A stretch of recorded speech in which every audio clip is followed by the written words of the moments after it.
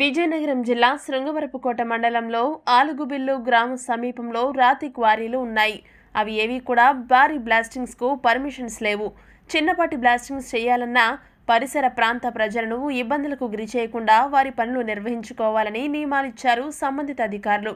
కానీ కనీస ప్రికాషన్స్ పాటించకుండా అనుమతులకు మించి భారీగా బ్లాస్టింగ్స్ చేయడంతో సమీప గ్రామస్తులు భయభ్రాంతులకు గురవుతున్నారు.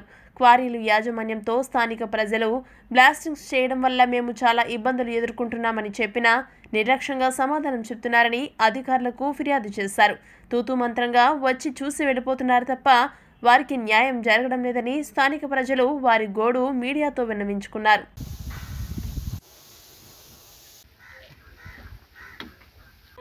మీరు గంట క్రితం అలారం ఏమని చెప్పారు సైరన్ ఏమని చేశారా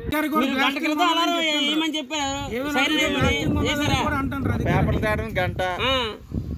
సైరన్ కూడా లేదు బ్లాస్టింగ్కి బ్లాస్టింగ్ సైరన్స్ లేకపోయినా కూడా ఉన్నదని ఈయనే.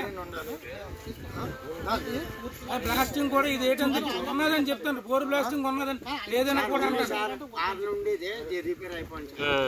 ఏటి ఉన్నది ఏటి అనేది మరి చూపించని చూపించట్లేదు.